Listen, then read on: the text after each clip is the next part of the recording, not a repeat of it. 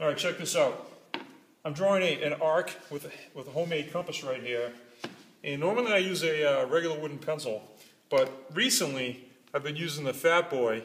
And the reason I like it so much is the lead is so thick that all I have to do is drill a hole that's 1364, so it's just under a quarter inch. And that lead is so thick that it fits right in that hole. I, I drilled the hole right here.